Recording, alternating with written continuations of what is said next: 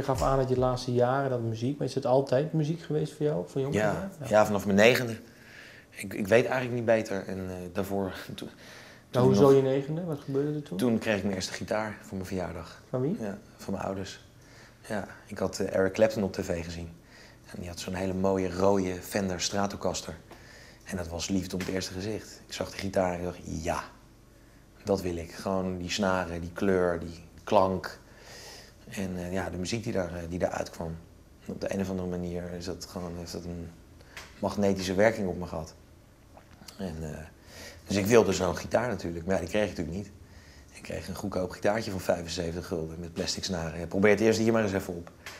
Kijk maar even hoe dat gaat. Nou, na een paar maanden heb ik die per ongeluk van de trap laten vallen. Ja, en toen uh, was het, oké, nu is hij stuk. En nu?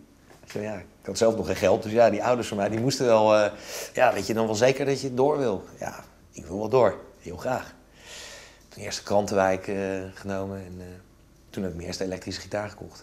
Welke was dat? Dat was een Squire, dus een nep, nep Fender eigenlijk. En heb je ooit die Fender nog gekregen? Ja, niet gekregen. Daar heb ik hard voor moeten werken. Ja, wanneer was dat? nou, ik denk dat ik in wanneer is het, nou, ik denk begin 2000 heb ik, toen ik mijn eerste baantjes en zo had, ja, toen woonde ik gewoon nog thuis. Dus dat geld kwam met, uh, met bakken binnen, hè, als je natuurlijk Krantenwijk gewend bent.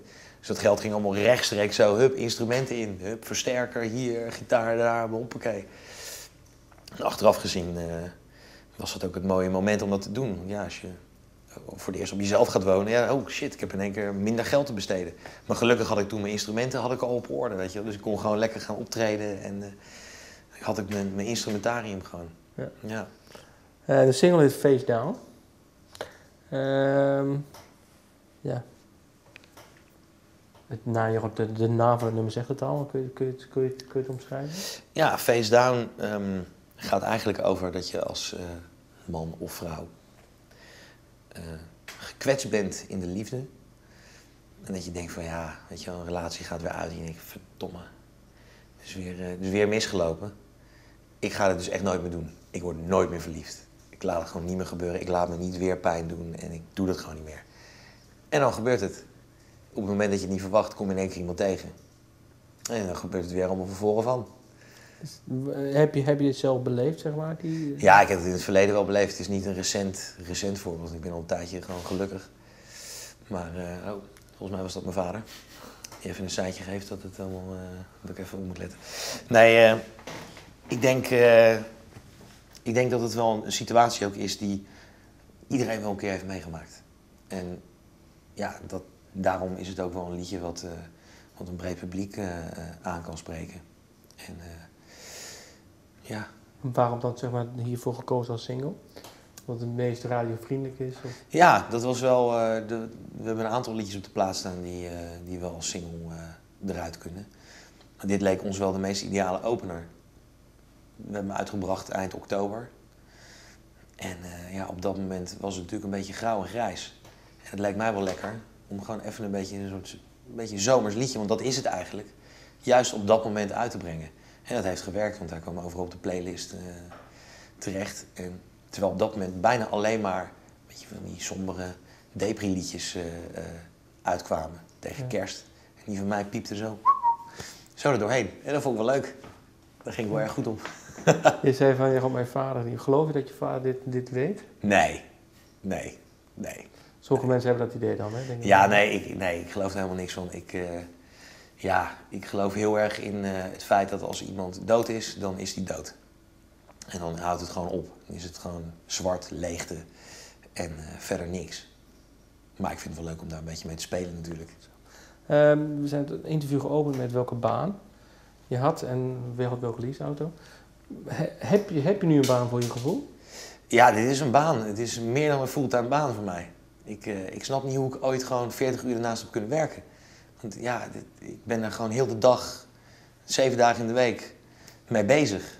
En uh, ja, dat, dat is, ik weet niet hoe ik dat vroeger ooit gewoon ernaast heb kunnen doen.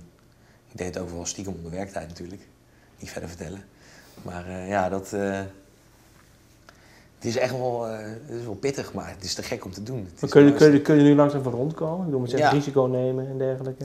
Jawel, ik kan er wel steeds meer van, van leven. Dat, ja, optredens en zo, hè, dat, als je een plaatje op de radio hebt, dan word je gewoon wat meer geboekt en eh, ja, kan je gewoon wat meer, eh, wat meer verdienen. En ik pak gewoon alles aan wat, wat op mijn pad komt. En eh, ja, het gaat, het gaat aardig op het moment. Ik mag niet klagen. En Het is nog geen vetbot, maar waar woon je? Ik woon eh, deels bij mijn moeder en, eh, en deels bij mijn vriendin. Ik ben nog een beetje heen en weer. Kostenbesparing. Het is een beetje kosten besparen inderdaad, ja. Ik zit eigenlijk het meeste van de tijd bij mijn moeder. Daar heb ik ook mijn werkruimte. Daar, eh, ja, daar, daar ben ik ook opgegroeid, weet je. Ik zit gewoon op mijn oude zolderkamertje waar ik mijn eerste gitaarlessen heb gehad. Daar zit ik nu gewoon mijn muziek te schrijven en op te nemen. En ook, ja, ik schrijf ook veel met anderen samen. Steeds meer ook voor anderen. Dat is ook iets wat ik steeds meer wil gaan doen. En heel erg leuk vind ook. Dus ja, dat eh, het is een fijne plek om, om te zijn, omdat het zo vertrouwd is. Dus ik, eh, ik ben daar graag. En welke auto heb je nu? Ik rijd nu een eh, Opel Astra. Ja. Uit eh, 2000, eh, of, uit 1999. Ja. Moet, komt hij goed door de keuring heen elk jaar? Nou, hij moet dus deze maand door de keuring. Voor 23 maart moet hij gekeurd zijn. En eh, vorig jaar had ik ook een Opel Astra en die kwam niet door de keuring. En dat was even janken. Dat was echt... eh, ja, toen moest ik in één keer een nieuwe auto kopen. Of waarom koop je dan weer een Opel Astra? Ja, waarom ook niet? Ik geloof gewoon heilig in Opel Astra's. Het is ook gewoon een way of life natuurlijk. Gewoon eh Opel Astra rijden. Lekker, toch een beetje burgerlijk nog. Dankjewel. Yes.